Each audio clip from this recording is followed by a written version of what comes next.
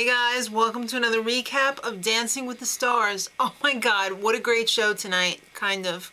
Alright, so the stars and the pros had to dance to songs that mean something to them personally. So the pro dancers came out, you know, the Special Six, the new troupe. They uh, demonstrated the Paso Doble, the Rumba, and the Samba, which was pretty good.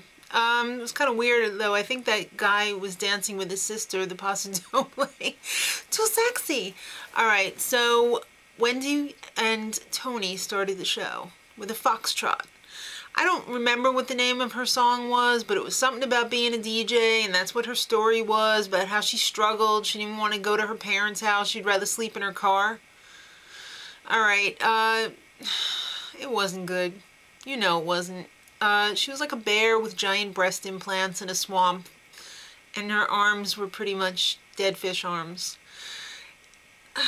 The thing that kills me about her is that she thinks she's so great. She's like, Tony, you made me a dancer now. You're not a dancer. You're a bear in a swamp with breast implants. And then uh, when Brooke Burke was interviewing her, if you could call it that, Tony made a good choreograph. she kills me. All right, she ended up with a 15, which I thought was too high. All right, Chelsea Kane and Mark. Uh, they had a cha-cha. Somebody wrote a song for Chelsea. It was called Chelsea. that is so cool. It was about her first love, and uh, I thought it was fantastic. They did a really good job. She had high energy. She got into it. It was fun, and it was semi-good. So they ended up with a 23. Chris Jericho and Cheryl. They had a Rumba. Now, some of these Rumbas that they did tonight were supposed to be like for their parents and I don't know how they adapted a sexy song you know in honor of their parents especially if they passed away it was just kind of, it was all too weird for me I'm sorry so they did a rumba and to let it be and it was about his mom's accident how emotional that was for him and you know she eventually passed away after that I loved his story he did such a good job telling about how he just wanted to be him. I had tears in my eyes by the end of the dance, not because the dance was so great, just because he really conveyed the emotion to me. So his hips were not good, but you know, it really conveyed the emotion. And if it's about your mom, I don't think you want your hips to be grinded on somebody else. So I thought the judges were a little harsh though with the 21. I thought it was a little bit better than that. Kendra and Louie were up next with a rumba to You and Me. And it was about how people were hating on her when she uh, met her husband and had her baby, I guess. Um,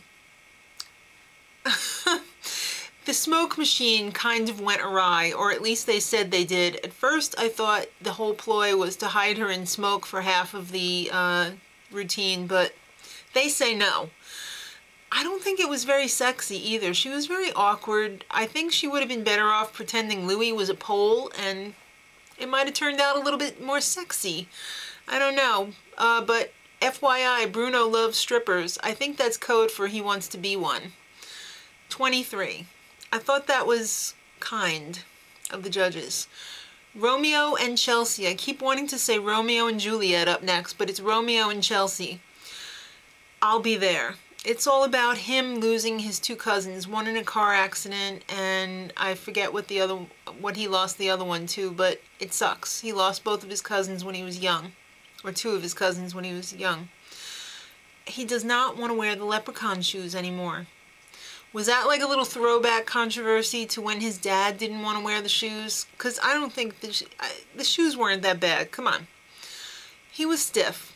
And the singer was really screechy during the performance and it was really difficult to listen to, putting it kindly. Everybody was ragging on Len about telling the truth. It wasn't good. I mean, it was okay, but it wasn't great. They ended up with a 20. Hines and Kym were up next with a samba to Fantasy, the old Earth, Wind, and Fire song for his mom, who he's very proud of because she was a single mom. And I thought it was good, but I think Carrie Ann really got carried away saying, oh, it's like you've been dancing the samba your entire life. Really? That is insulting to people who have been dancing the samba for their entire life. I thought the judges were extremely generous and they gave him a 25. Petra and Dmitry, or is it Petra? It's probably Petra. I've seen both. Um, Waltz to You Raise Me Up. And this was this is a very emotional, beautiful song.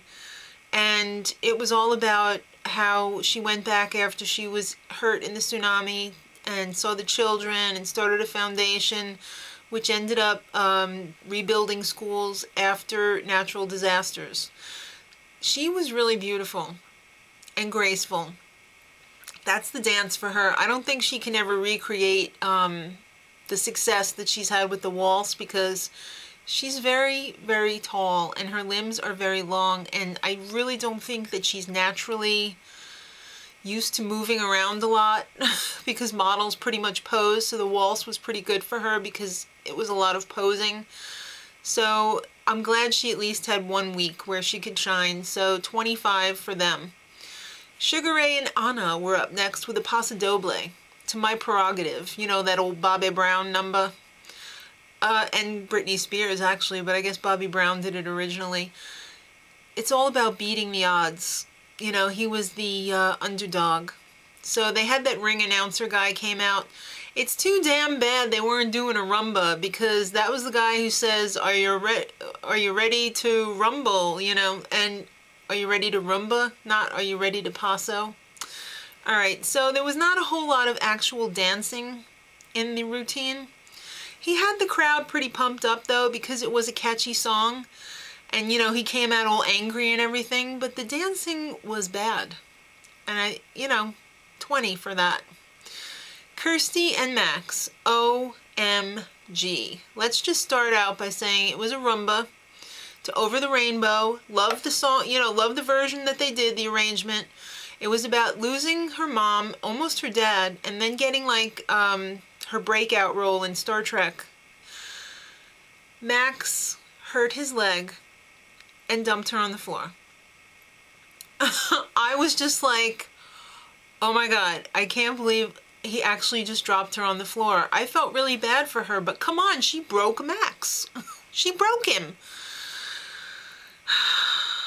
Poor Kirstie you know, and then the judges were like, oh, but the band was so good and you were so good after you actually got up. And you know what? If it was so good, why did they end up with a 21? Why are they penalizing her for Max hurting his leg if it was so good? See, I just don't, I don't like the judges, you know, pseudo speak. It just, it bothers me when they're all like, oh, it was so good, 21. Whatever. So then Ralph and Karina close the show uh, with their rumba to Stay Gold because everybody knows Pony Boy Stay Gold. You know, he was in that movie, The Outsiders. It was really clunky. I mean, he peaked like week one. And now it's just, it's getting worse. He's not progressing. He's pretty much staying the same, I guess, and everybody else is progressing.